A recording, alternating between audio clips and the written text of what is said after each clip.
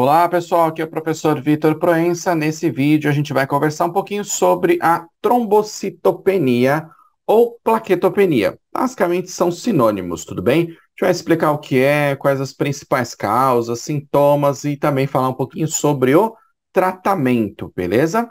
Então, primeira coisa, o que, que é essa história aí de trombocitopenia? Nome complicado, né? Ou plaquetopenia. É, basicamente, é a redução do número de plaquetas na corrente sanguínea, ou também chamado de trombócito, tá? Por isso que acaba tendo esses dois nomes aí. Só para constar, é, as plaquetas a gente chama de elementos figurados do nosso sangue. Então vamos lá, voltando na história. No nosso sangue a gente tem uma fase líquida e uma fase sólida. Claro, isso tudo está misturado lá quando está na circulação normal. Mas quando a gente pega esse sangue, faz uma coleta, coloca num tubo de ensaio, por exemplo, esse sangue, se ele ficar paradinho lá quietinho, ele vai se separar numa fase líquida que nesse caso aí, dependendo do tubo de ensaio, a gente chama de plasma ou soro, e a parte de baixo que tem um monte de células ou elementos figurados, tudo bem? A maior parte é célula vermelha, por isso que fica vermelho lá, são os eritrócitos ou hemácias, tá? Mas a gente também tem as células brancas, que são os leucócitos, e tem as plaquetas, beleza? Tá nessa fase aí mais sólida do nosso sangue. Quando a gente faz a coleta num tubo de tampa roxa, por exemplo, que a gente diz, a gente que contém EDTA, né, é, que é um tipo de anticoagulante que conserva a morfologia das nossas células, a gente leva esse sangue, por exemplo, para um setor de hematologia, um laboratório aí de hematologia dentro de análises clínicas e faz a análise desse sangue num esfregaço ou estiraço. Coloca lá uma gotinha de sangue, faz assim uma raspagenzinha, como se fosse, né, uma raspagenzinha, que na verdade a gente chama de é, esfregaço ou estiraço sanguíneo, e aí faz um, um, um tipo específico de coloração, coloca lá uns corantes e tal, e analisa aquela lâmina ao microscópio. Claro, eu estou falando da maneira manual, tudo bem? Mas tem outros equipamentos que já fazem aí basicamente tudo isso, e tem outras técnicas também. Mas só para a gente entender, né?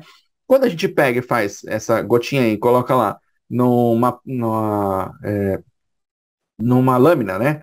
E aí colore essa lâmina e olha, o microscópio a gente enxerga as células, principalmente as hemácias, né? Que tem grande quantidade, enxerga as células brancas ou leucócitos e enxerga também as plaquetas. E a gente faz essas contagens todas, tem todos uns cálculos aí para fazer essa parte mais manual, se for equipamento, ele já faz, está programado né, para fazer tudo isso, e aí liberam esses valores. Só para constar, dentro de um plaquetograma, plaquetograma seria a parte aí do hemograma, que a gente analisa as plaquetas, morfologia, quantidade e etc, tá? Só para constar, o valor de referência aqui para adultos especificamente, né? É, claro, isso pode ter umas variaçõezinhas nesses números em relação ao laboratório, metodologia, etc., mas é de 150 a 400 mil por milímetro cúbico. Tudo bem? Esse é o valor de referência. Professor, tá bom, mas e aí? O que seria a trombocitopenia ou plaquetopenia? É a diminuição aqui, ó. Então, 100 mil, 50 mil, 20 mil, esses valores estão abaixo do valor normal. Quer dizer o quê? Que tem menos plaquetas do que o seu corpo normalmente deveria ter. O corpo de uma pessoa normal deveria ter. Então tem menos plaquetas que o normal. Tudo bem? Menos plaquetas que o normal, a gente chama de trombocitopenia ou plaquetopenia. Beleza? Esse é o principal ponto que você tem que entender agora. O que, que é? Primeira coisa, tá? Diminuição do número ou contagem de plaquetas na corrente sanguínea. Tá, professor, mas e o que, que vai acontecer no final das contas? As plaquetas são muito importantes para aquela história toda lá de coagulação. Tudo bem? Células vermelhas são muito importantes para, sei lá, transporte de oxigênio. Células brancas são muito importantes para defesa. Isso é geral, tá? Isso é uma informação aqui superficial que eu estou te passando. Claro, cada célula tem funções extremamente importantes e muito mais detalhadas do que eu estou te passando aqui. E as plaquetas têm uma função muito importante na coagulação. Se tem menos plaquetas, tem menos coagulação. Consequentemente, a coagulação está prejudicada e você passa a ter hemorragias. Tudo bem? Muitas vezes, os idosos, por exemplo, podem ter menos plaquetas e aí eles apresentam hemorragias espalhadas pelo organismo. Pacientes que têm algumas doenças específicas ou usam alguns medicamentos específicos também podem ter baixa contagem de plaquetas e apresentar hemorragias. Aquela pessoa que vive tendo aí hematomas espalhados pelo corpo, tá? Claro, esse não é o único motivo, tudo bem? Esse é um dos sinais ou sintomas que você pode perceber, e aí sim, para o médico, de fato, definir, fechar o diagnóstico, quem fecha o diagnóstico é o médico, só para constar, né? Que você tem uma trombocitopenia ou plaquetopenia, é, ele vai solicitar um exame de sangue, que aí quem faz? Biomédico, farmacêutico, biólogo, os técnicos em análises clínicas, por exemplo, e aí ele pega esse exame físico que ele fez, o exame laboratorial, que é o hemograma, analisa esses dados em conjunto do, das suas características aí físicas, do exame físico que ele fez com você, e aí sim ele formula um diagnóstico, beleza? Então não é procurando em qualquer lugar que você tenha um diagnóstico só para constar. O nosso objetivo aqui é te informar, é você entender melhor esses conteúdos aqui relacionados com a sua saúde, tudo bem? Então, se tem diminuição de plaqueta, você vai ter provavelmente uma hemorragia. Professor, mas as minhas plaquetas estavam lá, 150 mil, 140 mil, alguma coisa do tipo. É muito provável que você não tenha sintoma nenhum ainda, tudo bem? Agora, se as plaquetas chegaram para 50 mil, 20 mil, aí são situações muito graves. Claro que ao fazer um hemograma, o médico perceber que está aqui para baixo, ó, ele já vai provavelmente acompanhar mais de perto esse paciente. Qual foi o motivo, o que aconteceu, se tem outra doença, aí ele solicita exames, outros exames, né? Complementares para analisar qual é o motivo dessa redução aqui dos níveis de plaqueta. Tudo bem? Então, as plaquetas são muito importantes para aquele processo, de maneira geral, de coagulação, tá bom? A, a hemorragia não está relacionada só com plaqueta, tá? Tem outros fatores de coagulação aí muito importantes. O próprio fígado que produz fatores de coagulação também é muito importante. Então, assim, tem outros motivos. É importante que você entenda isso, que não são só as plaquetas, beleza? E agora eu trouxe aí algumas causas para você entender quais são alguns dos motivos que levam à trombocitopenia ou plaquetopenia, beleza? Primeira coisa, é, infecções normalmente virais, tá? Então, por exemplo, é, H1N1, dengue, zika, covid também, tá? E outros tipos de vírus e algumas bactérias também é, fazem com que haja uma redução da contagem de plaquetas, uma plaquetopenia ou trombocitopenia, tá? Alguns medicamentos também, eles diminuem principalmente o que a gente chama de agregação plaquetária, que são, por exemplo, aqui, ó, os anti-inflamatórios não esteroidais, por exemplo, né? A aspirina é um deles, aspirina é a marca, né? Mas o ácido acetil salicílico é um deles, é um antiagregante plaquetário. Como diminuir a formação a agregação dessas plaquetas diminui a formação dos trombos ou coágulos, tá? E aí, em muitos casos, ele acaba sendo utilizado como terapia e coadjuvante num acidente vascular encefálico, por exemplo. Ainda alguns medicamentos antihipertensivos, tá? Também não vou ficar explorando todos esses mecanismos desses medicamentos aqui, quais são os medicamentos, é mais para você ter uma ideia aqui, tá? Então, infecções, uso de alguns tipos de medicamentos, tá? pode levar à diminuição das plaquetas, por exemplo, deficiências nutricionais, e aí é que é bastante importante, porque, por exemplo, crianças tendo hemorragias aí, sangramentos do nada, não é normal, tá? Será que essa criança está se alimentando direito? Ou esse idoso, né? Pode ser por uma alteração na alimentação, não necessariamente é uma alteração, sei lá, no fígado ou na medula óssea desse paciente. Pode ser pela, pela alimentação. E aí, obviamente, tem que analisar todo o hemograma, ver as outras células e entender melhor se, por exemplo, é ausência de ácido fólico ou vitamina B12, por exemplo, tá? Que aí a gente tem, entraria em anemias carenciais. Em outro vídeo a gente grava sobre isso, fala mais sobre anemia, tá? Que é um tema bem legal, tem vários tipos. Escreve aqui abaixo desse vídeo se você quiser saber mais sobre anemias. Então, as anemias podem estar relacionadas com essas carências nutricionais, deficiências nutricionais. E aí é claro, obviamente, né? Quem vai ter que analisar isso daqui mais relacionado com a alimentação é um nutricionista, tudo bem? O médico nutrólogo, por exemplo, médico clínico geral, pediatra, depende da situação, né? Também pode auxiliar muito nesse processo, mas quem vai analisar, fazer o recordatório alimentar, nutricional, etc., é o nutricionista que vai é, implementar a melhor terapêutica para esse paciente, beleza?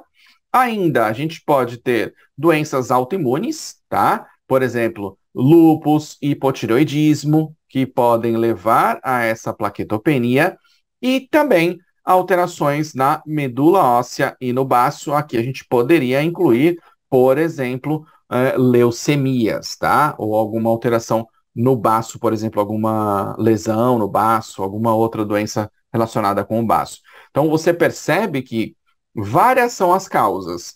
E o ponto importante aqui é quando o paciente, por exemplo, apresentar sangramentos aí do nada, que a gente vai falar mais sobre os sintomas, que ele vá procurar um médico, tudo bem? Claro, você digitou aí na, no Google e tal, e apareceu de repente o meu vídeo aí para você. E você está entendendo melhor o assunto. Mas para ver, verdadeiramente você ter o diagnóstico, você tem que agendar uma consulta médica para ele fazer um exame físico, uma análise, uma anamnese, etc. Solicitar exames específicos que a gente vai citar aí, alguns, né, como o hemograma, por exemplo, que a gente já falou, e aí instituir um tratamento adequado. Quem vai fazer isso é um médico. Em alguns casos, dependendo da doença, por exemplo, se é uma neoplasia aqui, uma leucemia, quem vai fazer isso é o médico oncologista ou ainda um hematologista. Tudo bem? Então, dependendo da doença que esse paciente tem,